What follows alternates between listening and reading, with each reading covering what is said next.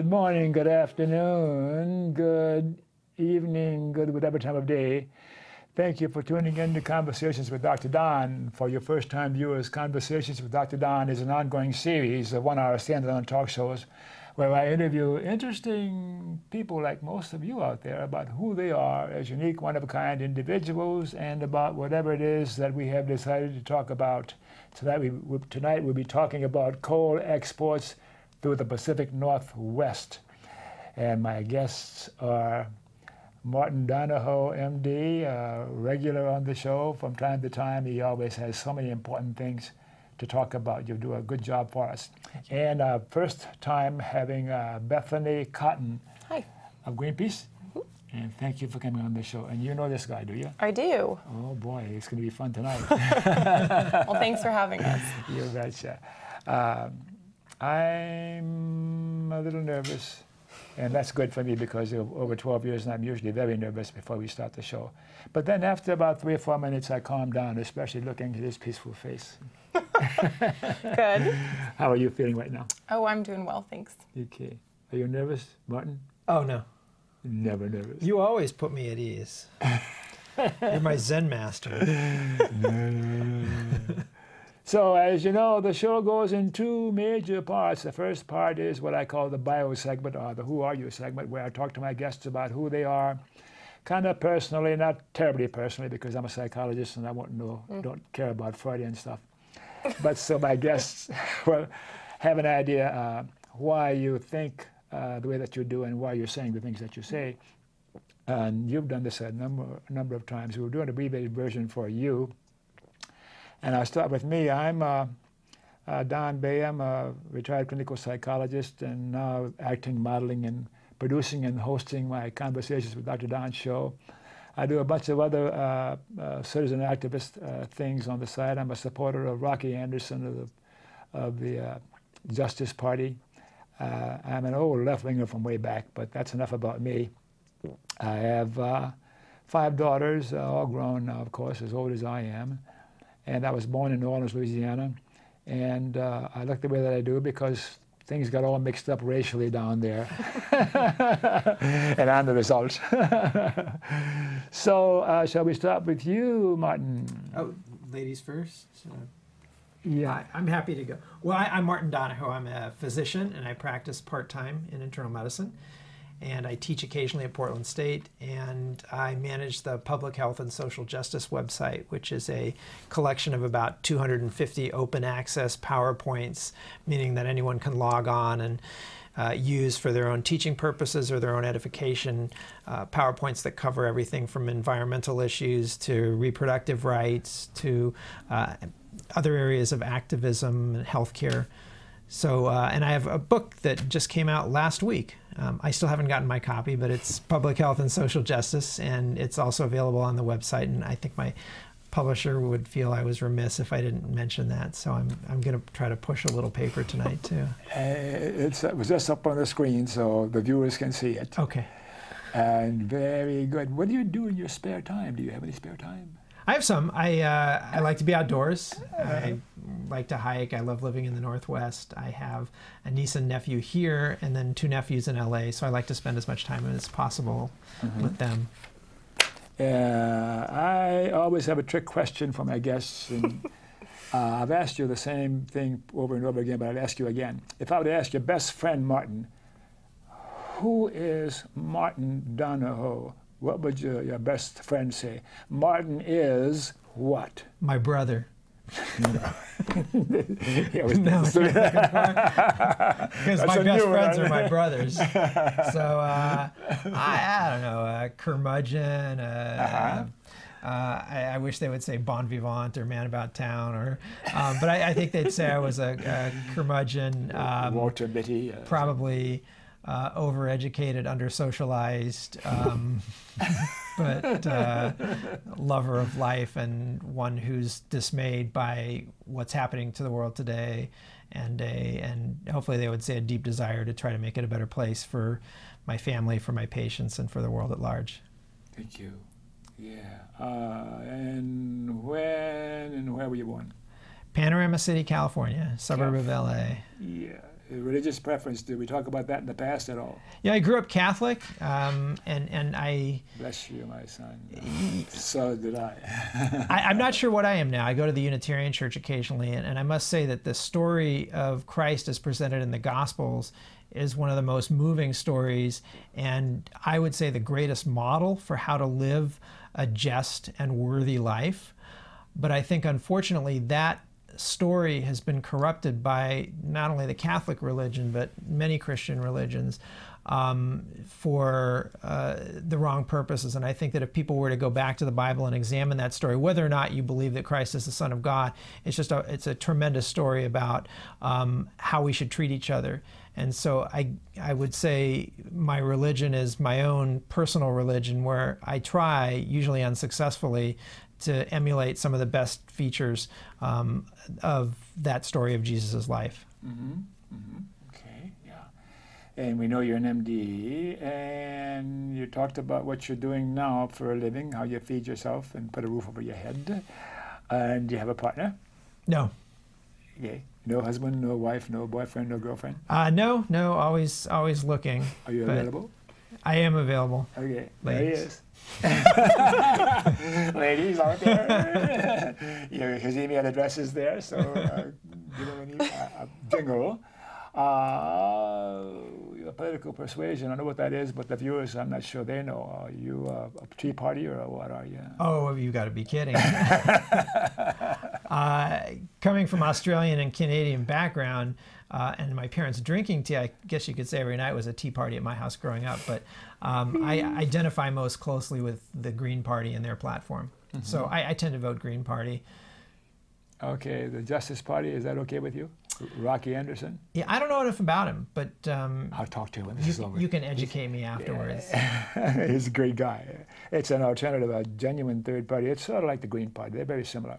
Uh-huh. Yeah. I'm a fan of Chomsky, Howard Zinn, Barbara Ehrenreich, some of the Cornel West, some of those who have spoken out so eloquently about um, the plight of those in this country and in the world who are underserved and face some of the consequences of social, cultural, environmental, and other damage that we as a society are doing to the planet, particularly brought about by the inequalities between rich and poor here in the U.S. and abroad. You're going to fall off the left end of the continuum if you keep reciting names and references like I'll that. stop. Amy I'm- Goodman. I'm not name dropping because I don't know any of these guys personally. All those so- are my heroes too. Yeah. Yeah. Uh, memberships in political, social, or civic organizations uh, that are worth mentioning for the viewers. I think the main one worth mentioning tonight is Oregon Physicians for Social Responsibility. Um, and I can say that I'm speaking not only on behalf of myself tonight, but also on behalf of the organization uh, and the positions that I state with respect to coal transports through the new through the Northwest mirror the positions taken by Oregon Physicians for Social Responsibility, which is a group, uh, mind you, not just of physicians. We have nurses, we have laypersons, and it's the and psychologists. Thank you. It's the uh, state chapter of the national organization, Physicians for Social Responsibility, which was co recipient along with its Russian counterpart of the 1995 Nobel Peace Prize. And so we work largely on issues related to environmental health as well as decreasing militarism and, in particularly, ridding the planet of nuclear weapons. Yeah, good organization. Yeah.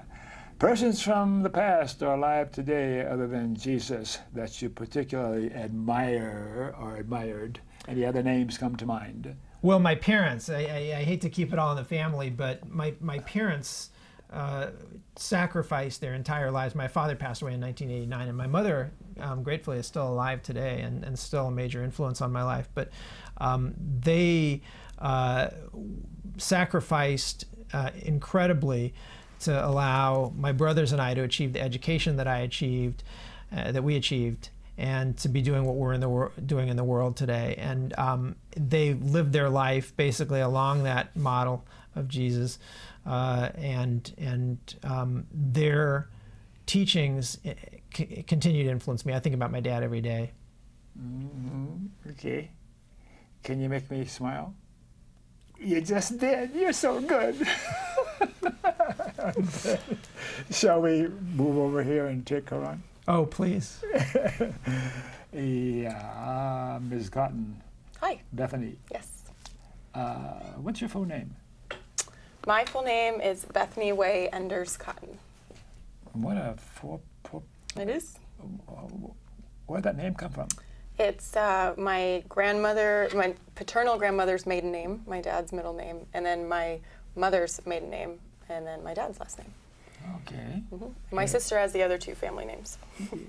And did I ask you where you were born yet? I was born in Ashland, Oregon. I know that. Yeah. Okay. And anything significant about your cultural heritage that's worth uh, reporting? Um, despite my appearance, I am not at all Irish. That's, yeah, I'm glad you brought her. uh, a religious preference. Do you comment about that at all? Uh, I grew up going to the Episcopal Church um, and have spent a lot of time um, in some of the pagan practices of cross quarter holidays and solstice and equinox, um, more with my dad. And I think at this point it's probably fair to say I'm basically agnostic, more spiritual than religious. Yeah. I'm a humanist, uh, skeptic, agnostic, all those kinds of things. And I'm an atheist, not an atheist. That's a pejorative. hmm Did you, have I said it to you before? No. I should have. uh, and what do you do to earn your keep? What's your profession other than being a member of Greenpeace? Sure. So um, I work for Greenpeace as Oh. the Pacific Northwest representative for the Quit Coal campaign. Um, so I work specifically to prevent coal exports in the Pacific Northwest. Um, and my background is in environmental law. So um, primarily Clean Water Act and Endangered Species Act work, uh, but also National Environmental Policy Act and other environmental laws and regulations. So your formal education then is in law. Mhm. Yep. Yeah. And do you have a partner, a wife, a boyfriend, a girlfriend? Nope. I have a lot of plants. You two need to get together. I think I've got food in my refrigerator older than Bethany. Are you available to the right man out there? I suppose. You guys got that? We're gonna. What, what, what do you call the, the Jewish faith? The, the Yentl, the matchmaker. Oh, Make me a match. Find me a fine, catch me a I've catch. seen that Oh, movie you about guys are 15 sing times. tonight, I huh? love it, yeah. uh, and I can guess at your political persuasion. Would you Mm-hmm. make a comment about that? Uh, I'm quite liberal. Mm-hmm. Progressive, whichever one of those you'd like to say. Progressive. liberal. Is that term coming back into fair usage anymore? Liberal has been tarnished and and uh, degraded by the right wing. Never mind, I'm grinding my axe now. Uh, memberships in political, social, or civic organizations worth mentioning other than Greenpeace. Sure. Uh, well, I, I do a lot of work with various conservation and environmental groups. Um, that's where my real heart and passion is. Um, and I uh, work in a coalition um, as part of Greenpeace in this larger coalition called Power Past Coal that is uh, more than 100 faith, environmental, conservation, community, and public health organizations that are working together to prevent this threat of the coal export proposals through the Northwest. Uh, and it's a really diverse and very interesting um, alliance that's formed with groups all around the West and also with Canadian allies to do that work together. Uh, everything from really small neighborhood groups to um, and the international organization that I work for. it's commendable uh, what you're doing. Uh, so, are you a member of the ACLU? I don't think I'm a dues paying member of the ACLU, but I certainly support most of their work. I don't pay a lot of dues as an, uh, with my uh, law school debt and my nonprofit salary. Dues are tricky. yeah, yeah. So, any persons uh, from the past or alive today that you look up to or admire?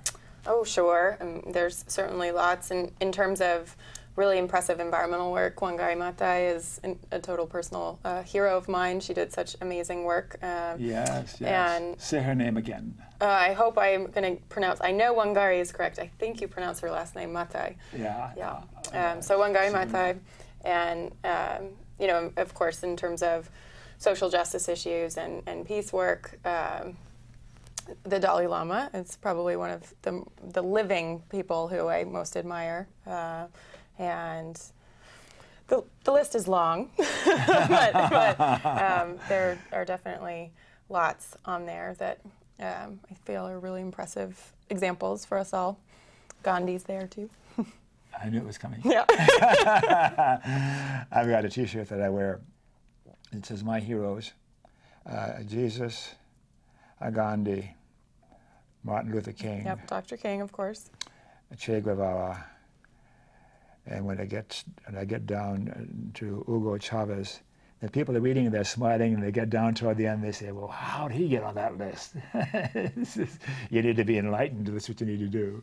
But anyhow, those are some of my heroes to uh, to live those the life that those people lived. And people find it funny since I'm a humanist and an atheist how I can lead my list with Jesus, and uh, that's a uh, remnants of my old Catholicism. I was an altar boy for years too, mm. you know. Yeah. Mm-hmm. So, uh, what's how do you see the mainstream media nowadays? Uh, is it left or right, or center, or what? I don't get as much exposure to the mainstream media um, as maybe I should to be to adequately address that. I'm an NPR addict and listen to um, local radio stations. Um, and read a lot of more alternative media out there, um, mostly online. Um, but I don't own a TV, and I love living in a house that doesn't have a TV. Good um, for you. so, and I haven't for years and years and years. I haven't had a TV. Um, so, so you I won't be watching tonight's program. No, I hear all the time. I get, I get. I saw you on the news last night. And I said, oh, okay, because uh, I do not have a television. Um, so, I, I think I miss some of the more conservative radio and, and TV that's up there. So I think in general, it's it's certainly more conservative than I am. You ready for your trick question? Sure. Why were you born? Oh well, my mom really wanted me, and it was time. It's yeah. about nine months. Yeah. Brothers and sisters. Uh huh. I have um, a younger full sister who um, is just about to get married, so we've been having a little fun planning her wedding um, to a wonderful young man from Spain. So they're getting married in Spain. So Ooh. I have an excuse to go to Spain in the spring. Um, she just finished grad school in Iceland and is now back. Um, I haven't gotten to see her yet. She's back in the U.S., but she hasn't been up here to visit yet. Um, and then I have a half sister who's 12, um, big soccer player, uh, and down in Ashland, and um, a couple of step siblings, um, one who's in college and one who's a senior in high school. She's the senior class president in um, Ashland High School. Wonderful. Yeah. You have an interesting, interesting background. Mm-hmm. How did you meet this guy? We met uh, around the coal issue. So I actually, um, Greenpeace shares an office with Oregon Physicians for Social Responsibility, um, which is very pleasant working environment. And um, so I do a lot of work with them. And we testified together before the Portland City Council a few weeks ago. Um, was that the first time? I'm not sure if that was the first time we met. Um, I think that was. Might have been the first time we met, and then um, there was the bar back in the, the 90s. yes, yes, that's right. Are we, are we filming? yeah. yeah. So perhaps we'll take an early break this time before we get into the main part of the program about coal exports to the Pacific Northwest. Control room, can we take a break now, please? Can you hear me in there? Good, we'll be taking a break now. So the mics are going to be uh, for a couple of minutes. That's a long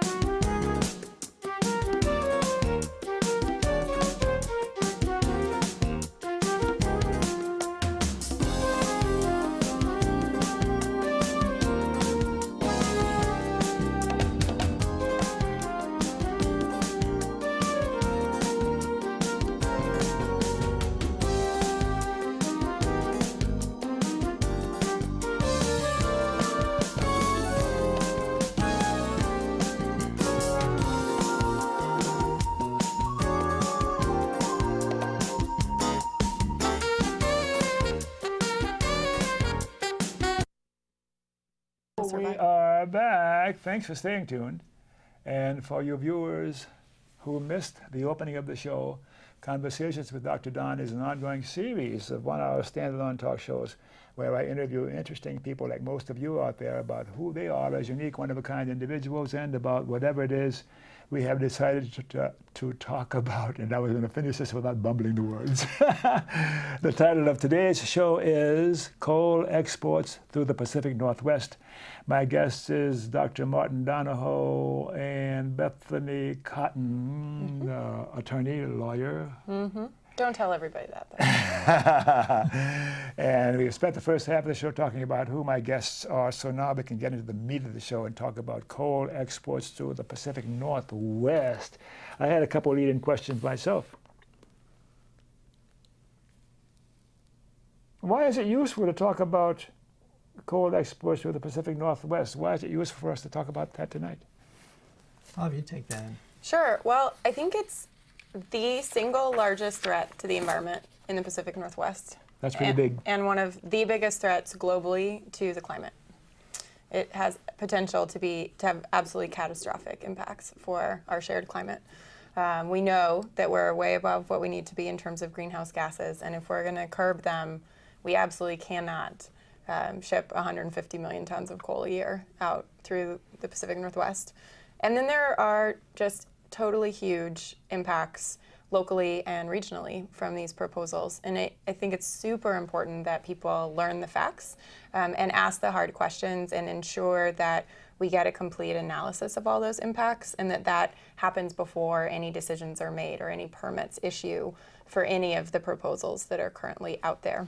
So that's a, a major ask that we have out that the federal government conduct an analysis that looks at all the proposals cumulatively and make sure that we get both a full environmental impacts analysis and also a public health analysis. And with all of that, do you think the federal government is going to be, uh, today's federal government is going to be objective in deciding whether or not coal trains can come to the Pacific Northwest? Well, With the money and the influence and power of the industry? There's definitely some concern, but I think there's a lot of power in citizens and in communities, and we're seeing that all across the region, uh, across political persuasions and in communities that are typically thought of as quite conservative, as well as communities that are thought of as liberal. We have now 27 different uh, municipalities, towns, or ports that have passed resolutions, um, either outright opposing or at least expressing significant concern. 27. 27, um, and 170 elected officials around the region, um, and more than 480 healthcare professionals. Uh, also, the um, 57, well, 59 tribes have called for complete analysis and expressed very serious concerns about impacts to their health and to the environment and to their tribal uh, treaty fishing rights um, that are posed by these proposals. So there's a huge amount of concern, and there's a groundswell of opposition um, that just continues to grow. Uh, so I think it's very important that folks get the facts and get informed about it because the impacts they will impact everyone. Um, the degree to which it impacts folks depends on where you live and how close you are to the tracks or or um, to the Columbia River.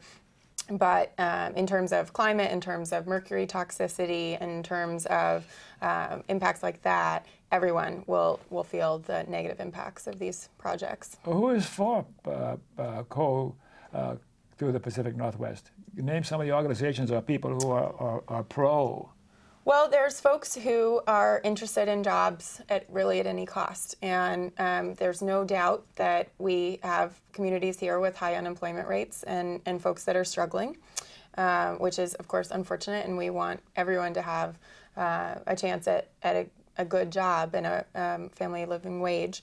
But we have a lot of concern that the jobs associated with this are, are really dirty jobs, and they're jobs that will not only impact the health of the people doing them, but will also have really serious impacts on uh, lots of other people and on lots of existing businesses and on the potential for us to continue to grow a more sustainable economy and for the kind of green brand Oregon, green brand Pacific Northwest to be the way that we're thought of well into the future. So the real, really the only argument we hear in favor is one that there will be some jobs produced. Do you want to say anything at this point in time, or do you want her to carry on? She's doing great. Uh, at, at some point, I'll pipe in and discuss the health and environmental consequences. But would you like me to do that now? Whatever you, you two decide, I'll follow. Yeah, wh- why don't I divide it up into uh, the risks associated with the diesel particulate matter from the diesel engines that power the trains, the risks from the coal dust itself, the risks from the carbon dioxide, nitrous oxide, sulfur dioxide, all the gases that are released into the environment. And that would all be significant enough the to mercury. cause. Well, there, there's significant consequences. So to, to to get a sense of the numbers, we're talking about 150 million tons a year being sent from the Powder River Basin in Montana and Wyoming, about 1,300 miles by rail, and then by at least one of the proposals by barge down the Columbia, coming right through the Northwest, which will act as the coal chute to China and India and Korea and countries in Southeast Asia. So 26 trains a day, uh, each one to one and a half miles long, consisting of over 100 cars powered by four diesel engines. 26 trains a day. One direction. Right. And so the diesel particulate matter that's released by the engines powering these trains is associated with asthma exacerbations in young children, increased admissions to the hospital for heart attack, increased risk of stroke, increased risk of heart failure, and increased risks of certain types of cancer. The coal dust itself can impair lung development, can contribute to pulmonary fibrosis, or basically stiffening of the lungs. Of course, causes black lung disease in coal miners themselves, and over 100,000 people have died in the 20th century from black lung disease from working in the coal mines. But isn't there a difference between just what's wafting off, off, off of these cars uh, into the atmosphere versus working in the mine where you're Well, really that- breathing it in that's a very good question. In fact, that's one of our major concerns because if you're in the mines, of course, you're going to have a much greater exposure and- and be more likely to develop black lung disease. If you're not in the mines, there are large amounts of dust that actually blow off of these trains. And it's uh, about what percent, Bethany? Well, so the coal company or the rail company itself did a study, and they found that up to a pound per car per mile, which means up to 500 between 500 and 3,000 pounds per train car, and you've got 128 train cars per train. So there's huge amounts of coal dust that we're talking about potentially. Now, obviously, some more blows off near the mines than elsewhere. Um, it blows off more in windy places. It blows off more when the train goes around a turn. So it's not totally uniform, and there needs to be more study of that. Um, but we do know that the Columbia River Gorge is one of the windiest places around. That's what makes it a world-class destination for kiteboarding and windsurfing. Yeah. And the trains are going to be going through communities of color, through poor communities. Um, they're going to be predominantly impacted. And this dust is also going to be uh, blowing off into the gardens of those who are growing their own fruits and vegetables. Uh, and There'll be that much, huh? Oh yeah, and communities of color and uh, and um, uh, other diverse communities here in Portland tend to have lower rates of having health insurance, higher rates of poverty. So they already have a number of comorbidities that would be made worse by exposure to the coal dust itself. Then there's, of course, the whole issue of noise. These are going to be quite noisy trains. They're going to be going past schools, past businesses. And one of the jobs issues that we're concerned about are all the jobs of those who have businesses that are near the train tracks. Because as these trains cross the tracks, they're going to cause delays of anywhere from 12 to 15 minutes. And so it'll make it difficult for simple things like people getting to work or going to shop, but it'll also cause delays in emergency vehicles getting through. So there will definitely be people who will have, say, a heart attack or a stroke, where basically time makes the, and minutes makes the difference between life and death uh, that will be affected by this. And there'll also be accidents. And um, ironically, the coal dust itself, as it blows off, gets into the soil that's underneath these tracks, making them less stable, making them less able to drain water off uh, during heavy rains. And of course, we're a very rainy climate here, making those tracks less stable, leading to coal, de- coal train derailments. And there have been at least 12 derailments this year Just nationwide this summer. just this summer, which have included a, a- a- a few fatalities. So um, this noise is going to affect children who are learning in school. It's going to impact those who have mental illnesses. It causes hypertension, heart arrhythmias, disturbed sleep, and is associated with, of course, poor quality of life. And we really value our quality of life here in the Northwest. It's one of the reasons that I moved to Portland um, because I love the outdoors. Uh, I love the air that we breathe. And, and as we get into this more, you'll see that this is really a, a, a almost Dickensian future we're looking at with a 19th century technology uh, that we're going to be burning. And we're going to be uh, burning in China, but we're going to be shuttling through the beautiful Northwest with dust blowing off and diesel engines giving off more pollution. Is there a guesstimate as to how many years this will go on? And Bethany, do you want to handle it?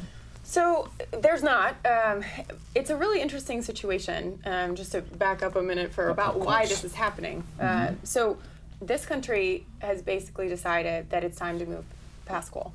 That coal is an exceptionally toxic. It's the dirtiest fossil fuel on the planet, um, mm-hmm. and that the impacts to human health and the environment are just too stark. So we are seeing um, rather than new coal fired power plants being built around this country, we are seeing coal fired power plants being shut down at an unprecedented rate.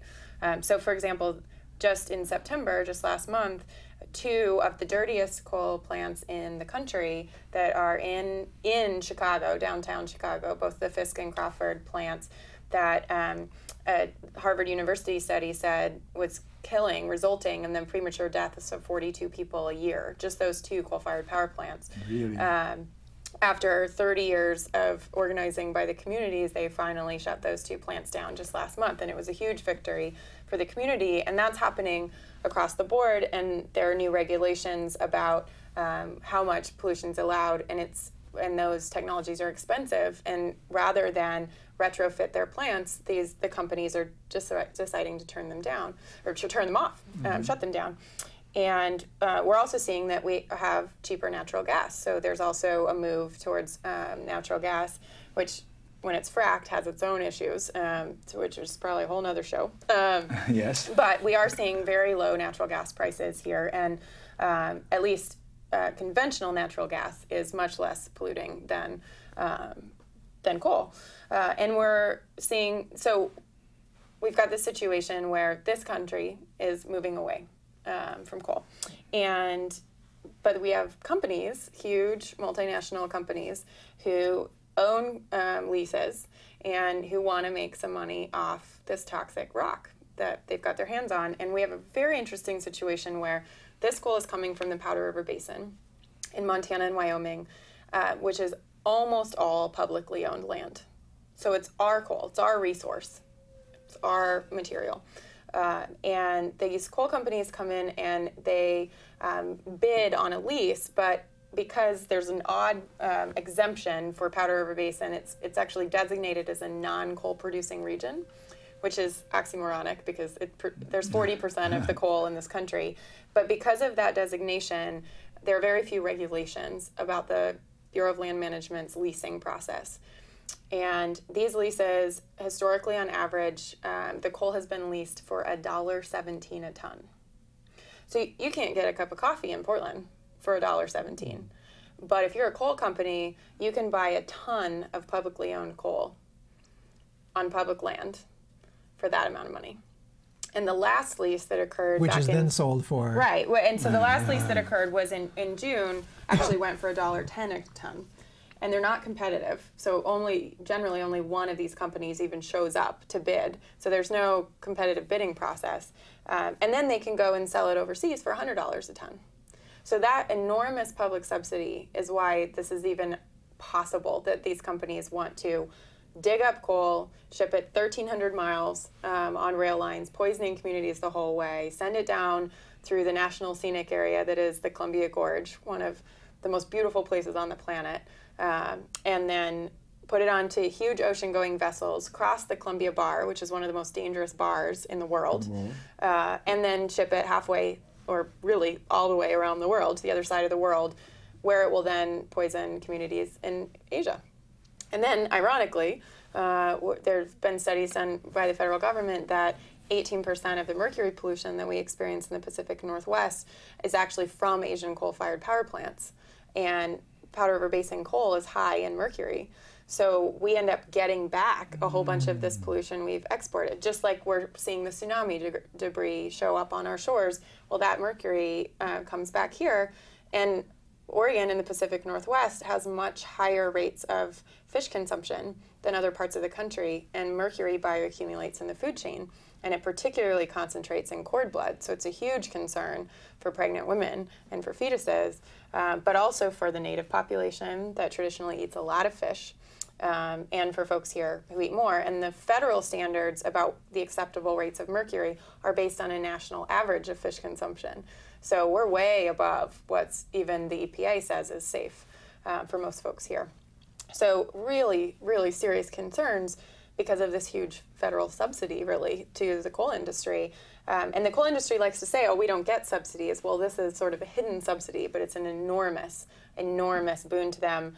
In fact, the Institute for Energy Economics and Financial Analysis um, studied this program and said that since 1982, it's been a $28.9 billion um, loss to the public taxpayer um, because of these this leasing program. Who authorizes this arrangement? So it's the the Bureau of Land Management. Um, it's a federal government agency that's in charge of it. The staffing of the Bureau of Land Management. Does uh, Democrats or Republicans uh, staff uh, this organization? Well, most of the positions are nonpartisan, but it's under the um, behest of the Department of the Interior, and the Secretary of the Interior is um, Ken Salazar. Salazar. Mm-hmm. Yeah, and then the other interesting subsidy is that uh, for these proposals is around the rail, and we have a lot of very pro rail law, much of which is 200 years old from the development of the country, um, that really gives a huge also public subsidy to development of rail, uh, and rail is a really interesting and important part um, of our infrastructure in this country but we should be focusing on high-speed passenger rail and on transport and on really um, upgrading all of our engines to the most efficient engines that are possible and then using it to transport sustainable goods. Um, instead, they're talking about transporting the dirtiest fossil fuel on the planet. Um, and, and that would foreclose more sustainable uses of these rail lines. And most of the work that's done on the rail line is paid for by public taxpayer dollars. So we're paying for this, huh? Mm. In more ways than one, with your lungs and with your wallet toxic rock. Someone was saying the other day in another meeting I was in that uh, the economy of China is kind of faltering, and uh, there's a lot of coal to be mined in China. Mm-hmm. So we're sending coals to Newcastle. No, how, how can China be buying coal from us when they have tons of coal of their own there? Well, that's a really interesting question, and it goes back to those subsidy issues that it actually it because the government subsidizes this coal so much, it can actually be cheaper for these coal companies, Peabody Coal, Arch Coal, Ambre Energy, these huge multinational corporations, to mine this coal in the United States, ship it across the entire Northwest, put it on huge ships, ship it halfway around the world, and sell it than it is for Chinese, the Chinese to just move coal across their country. Because China does have a lot of coal. That's hard to, to, to it is to wrap my mind around. I agree. I, it's crazy. I mean, there are mornings that I wake up and I say, I can't believe I spend my days doing this. I can't believe we're even talking about this. I mean, it's. Uh, I worked on the effort to shut down the single coal-fired power plant in Oregon, Boardman, because of the really significant environmental issues with that plant, the sulfur dioxide and the nitrous nitrogen oxide and the mercury pollution that comes out of a plant, not to mention the greenhouse gases. And that was a huge community effort around the region to get the agreement that that plant would be closed. Similarly, um, that happened in Washington State as well, and they'll be closing their single coal-fired power plant in in 2007. I spent the summer in Washington D.C. Um, as a law clerk when, when I was in law school, mm-hmm. and um, I couldn't afford to live in the district; it's very expensive. So I lived mm-hmm. out in Maryland, and I took the metro in. And I was sitting on the metro one day reading a book, and I looked out the window, and the tracks are parallel, and there was a train full of this black stuff. And it took me a couple minutes to realize what it was. And it was a train full of coal. And I remember thinking, well, at least we don't have those in Oregon. Hmm. Uh, for the moment. Famous last words. Mm. Uh, and so it is. I do find it literally hard to believe that we are even considering this, these projects. I was in a meeting the other day, and somehow or other, uh, I suggested a hundred years from now, uh, people are going to look back to this time in the earlier part of this century and say, what were those people thinking about? Because at the rate we've been going historically and, and developing and learning new stuff, mm-hmm. and we'll be uh, getting our energy from all sorts of other sources, as, uh, as soon as we manage to get the moneyed interest in the super rich and the extra, extra powerful corporations from influencing the entire process, then in the natural evolution and learning, we will have all sorts of alternatives uh, to uh, fossil fuels. Uh, we already do. If, what if we had a Manhattan Project, for example? Well, if we can put a man on the moon too within a decade, we can solve the energy problem, and, and uh, the the costs of the dirty types of energy that we use today are highly subsidized, um, both through tax breaks from the federal government directly, but also through the externalized costs, which are those health and environmental costs. Sure. And, and, Bethany mentioned mercury. Mercury is a significant neurotoxin that affects fetuses as well as adults. And between 300,000 and 600,000 women in the United States have toxic levels of mercury in their system. And um, global warming is another item that Bethany had mentioned. And that's probably the biggest effect that we're going to see from burning the coal because that coal that's burned gives off carbon dioxide, carbon monoxide, also some contributors to acid rain. The acid rain will mostly be deposited locally, but the carbon dioxide, the carbon monoxide, the methane that's released travel across the planet and contribute to heating up the planet. And already it's estimated that global warming contributes to about 300,000 deaths per year worldwide, and that number is certainly going to dramatically increase over the next 15 to 20 years. The time to do something about this is a couple of decades ago.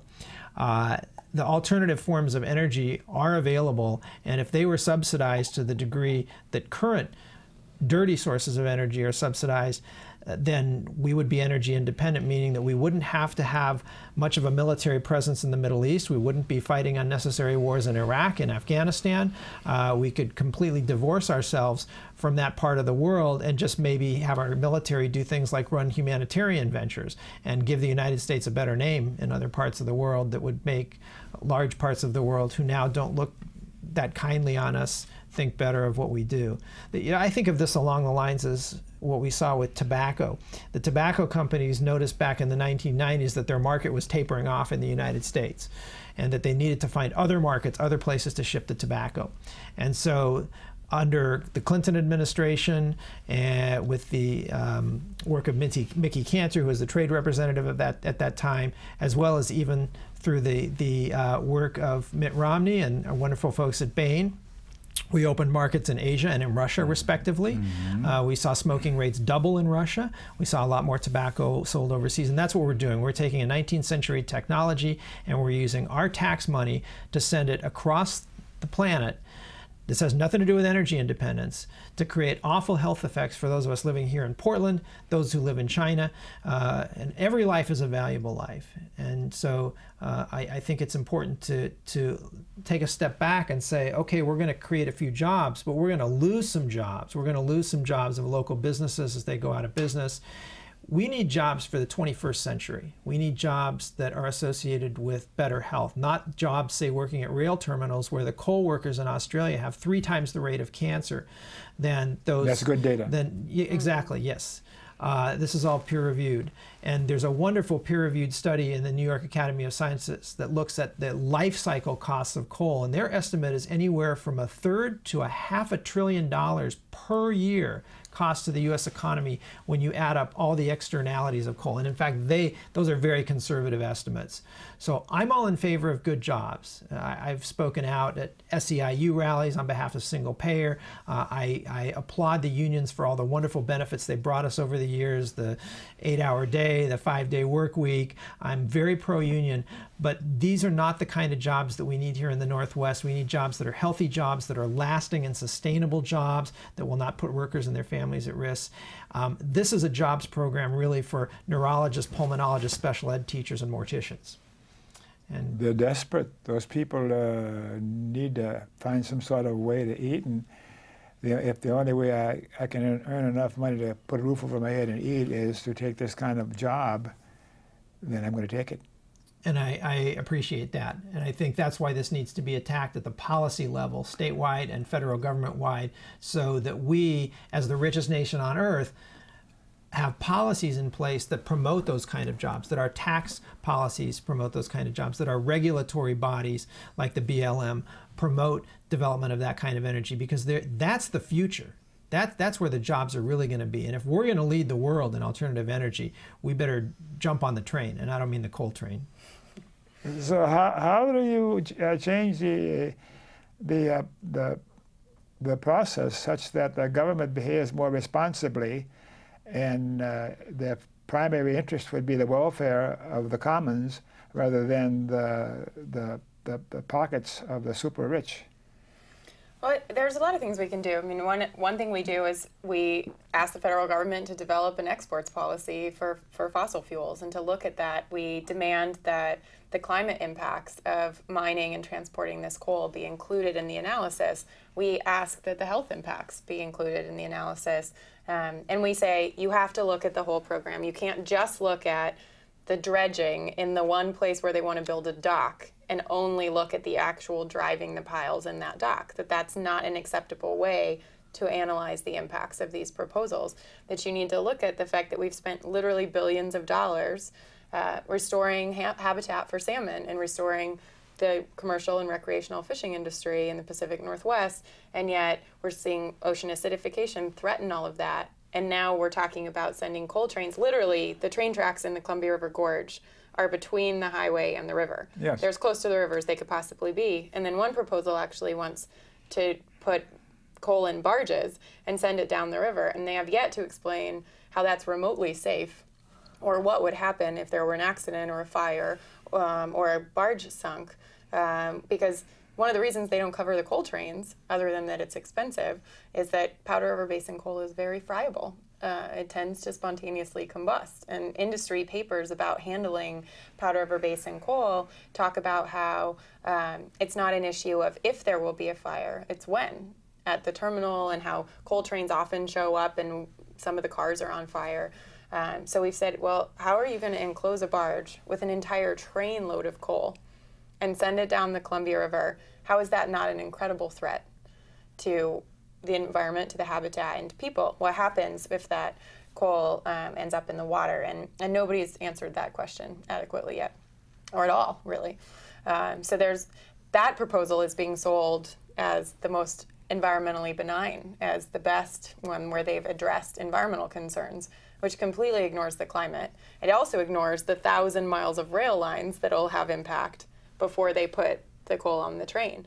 They're trying to avoid folks in the gorge and in Portland being upset about that project. And those people need to understand one, that there are huge potential impacts of barging coal, um, and two, that if you let these these coal companies in, if, if we become coal country, it's much harder to get them to go away. We need to stop them all, all the projects.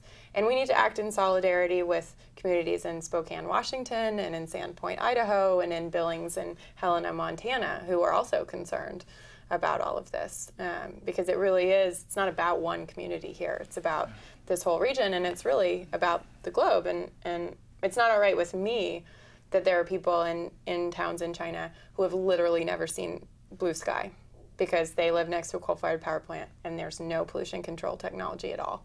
Um, and they literally don't know that the sky is actually blue because it's not where they live. If Obama wins in November will he will uh, change things? Will his administration behave differently in this situation? We don't know yet. Hmm, what do you guess? Uh, I don't have a good guess. I think it um, may well depend on who becomes Secretary of the Interior in the second administration. And who decides that? Um, President Obama would mm. decide that. Hmm, what, what, does his past history uh, indicate he will do?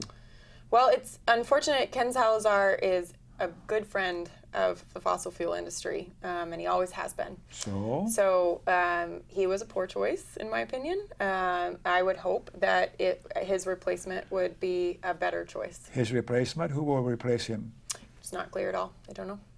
But who will be in charge of replacing him? The president. The president, okay. Mm-hmm.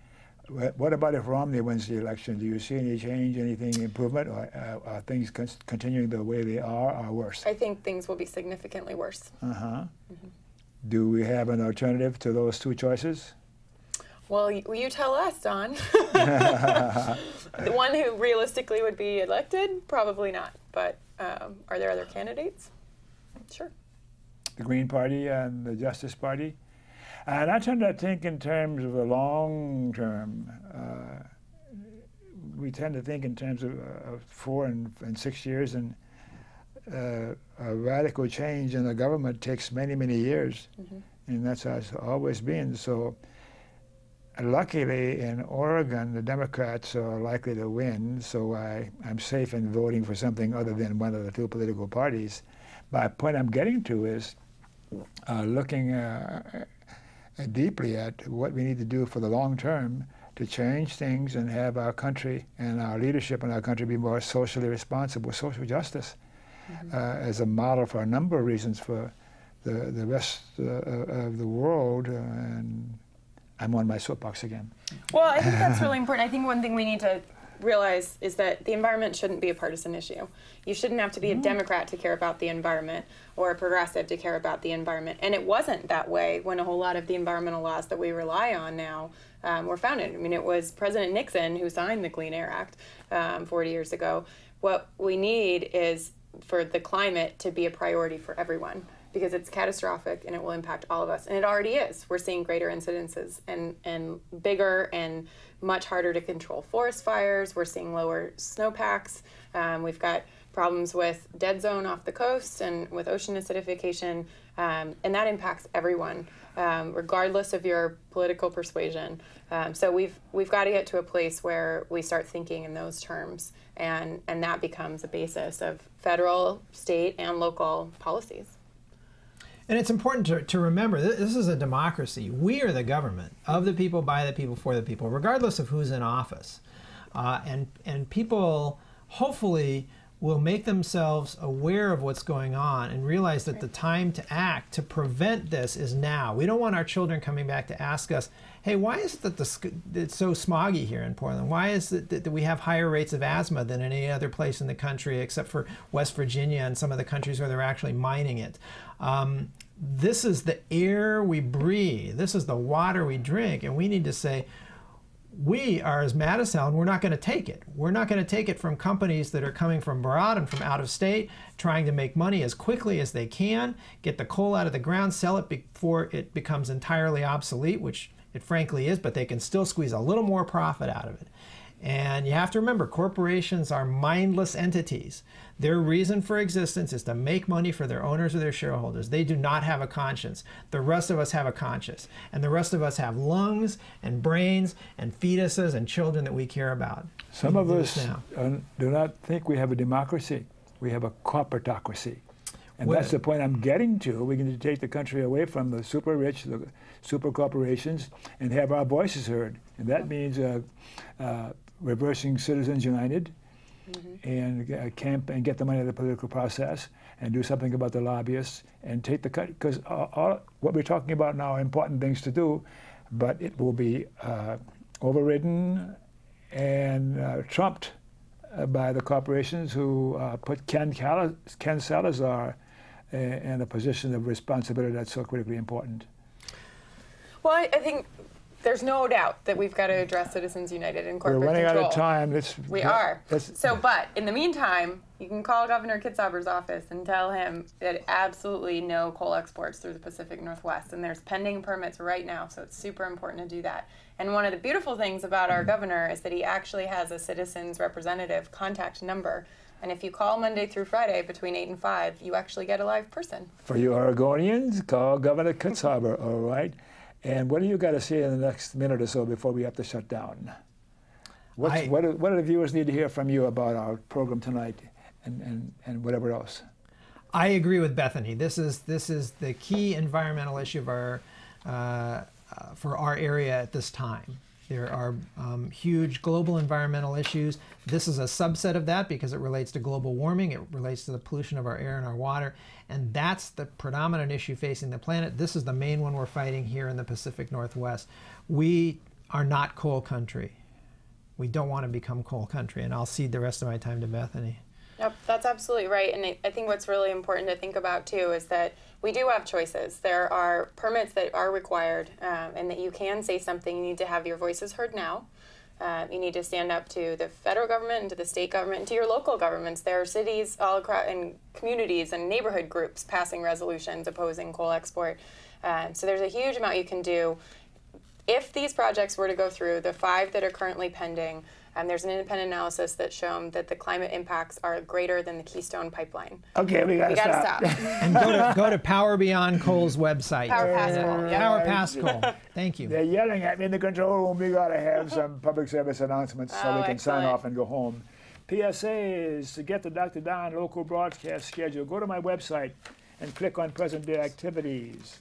And you and uh, to get my show on the web, go to my website again and click on favorite links. There's a couple hundred shows there through the years, and all sorts of people I've interviewed there.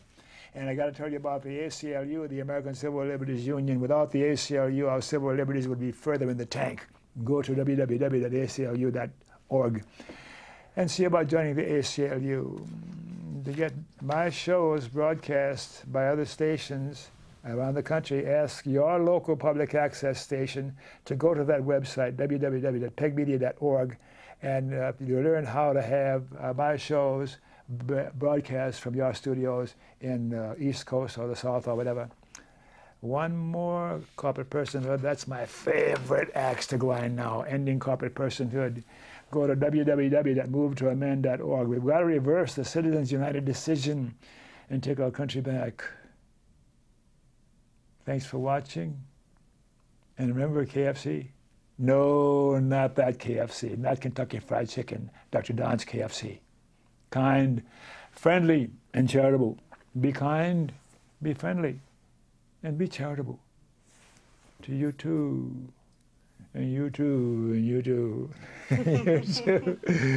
Thanks again for watching, and good night. Nice.